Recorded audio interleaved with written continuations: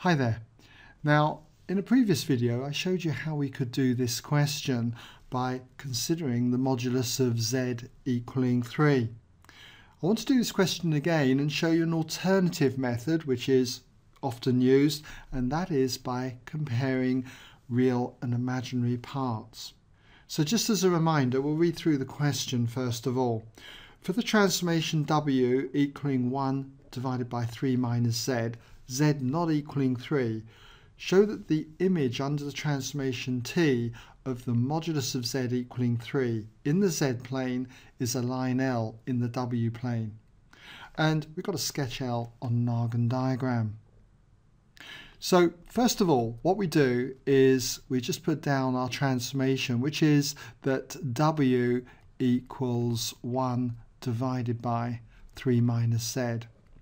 And from this, okay, it follows that if we were to multiply both sides by 3 minus z, we would get w multiplied by 3 minus z equals 1.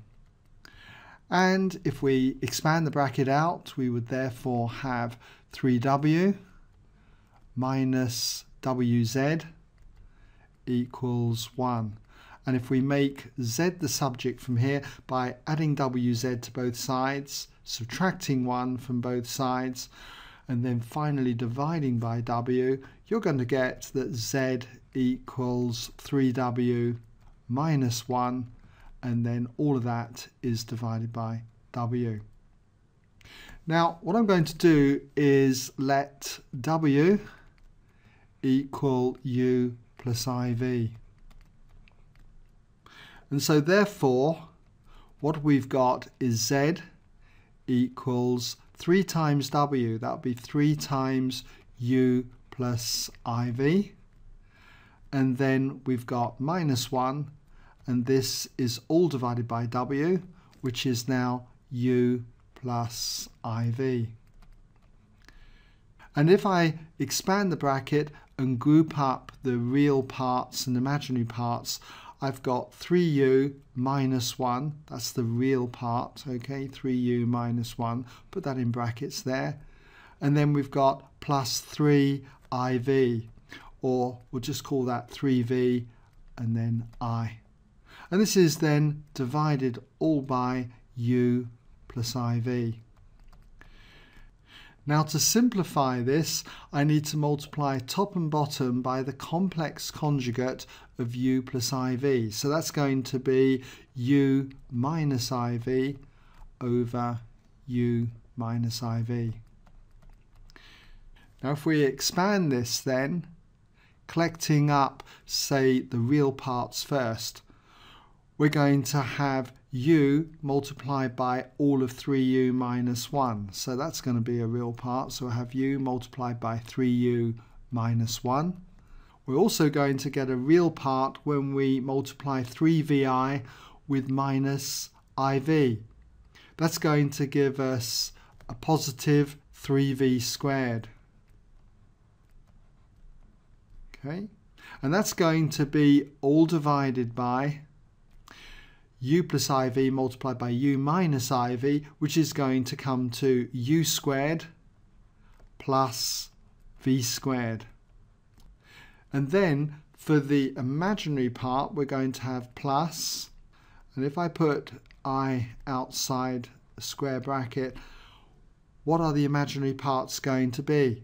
Well, you're going to have u times the 3v, so you're going to have 3uv, and you're also going to have minus iv times all of 3u minus 1. We've already got the plus i out the front, so it's just going to be minus v times 3u minus 1. And again, that's all going to be over the denominator here, that when you multiply that out, you get u squared plus v squared. let's just section this off, okay? We'll just come down to here first of all. Now if I let z equal x plus iy, okay, just mark that in there, then we've got that x plus iy equals this complex number here. And this is where we compare the real and imaginary parts. So it follows that x, the real part of z, must be equal to the real part here. So we've got u multiplied by 3u minus 1 plus 3v squared all divided by u squared plus v squared.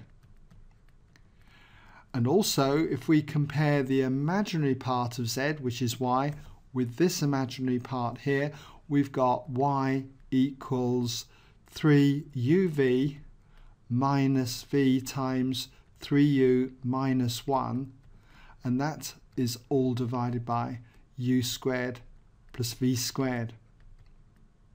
Now we know that the modulus of z equals 3.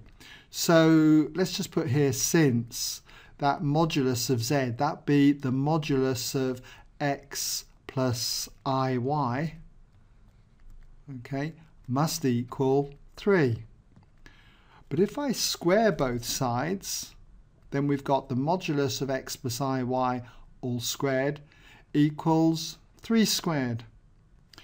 So therefore, what we've got is x squared plus y squared must equal 3 squared, which is 9. So if I square x first of all, what we're going to get, just taking the top here, is going to be u squared times 3u minus 1 all squared. So u squared times 3u minus 1 all squared.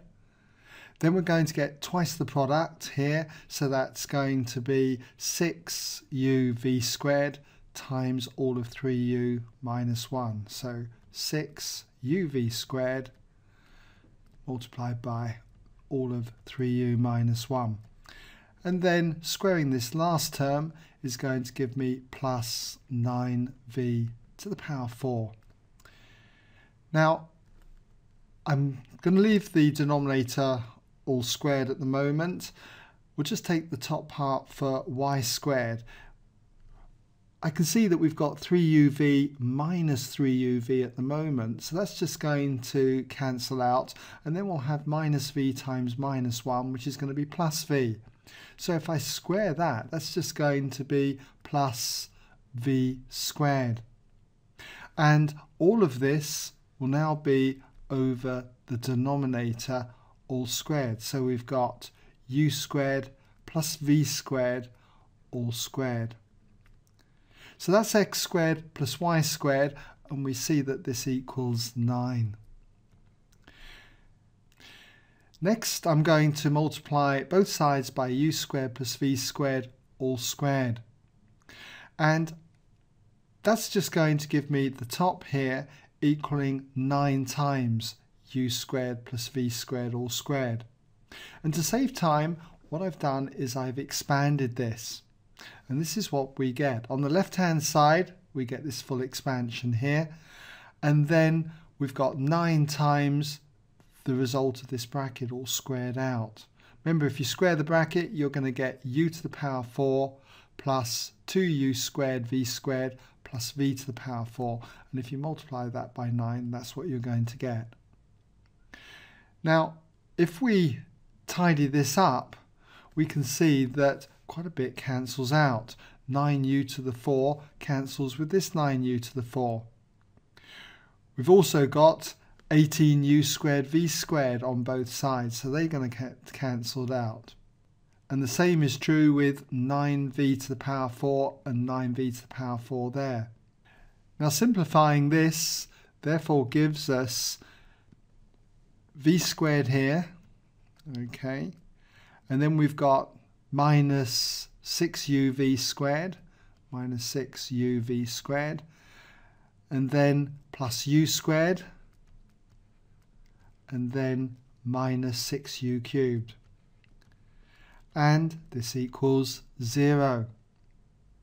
Let's just carry on bordering this off. Let's extend this down here a little. Okay, and then through here, down there, and across like so. Okay, so carrying on, what we can do now is we can factorize this expression by grouping. If I take the first two terms here, I can see that v squared is a common factor. So we've got v squared multiplied by 1 minus 6u. And then for these two terms, if I pull out plus u squared, I get 1 minus 6u again there, and that equals 0. Now, 1 minus 6u is a common factor between these two terms, so therefore we've got 1 minus 6u multiplied by all of v squared plus the u squared here, factorizing them by grouping, and that equals 0. Now we know that w equals u plus iv, and both u and v can't be 0. So what we've got here is that this term can't be 0. So that must mean that 1 minus 6u must be equal to 0. So therefore 1 minus 6u is equal to 0. And rearranging this for u gives us u equals 1 sixth. So when it comes to sketching this on the w plane, what we've got is a straight line where u equals 1 sixth. And this line then is called L and it passes the axis here, cuts the axis here at 1 sixth.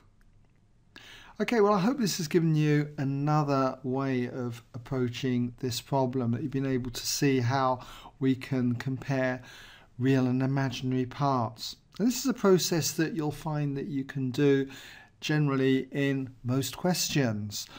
But uh, it's not necessarily the only way of doing it, as I showed you in the previous video, where we looked at the modulus of z and built up an equation out the modulus idea.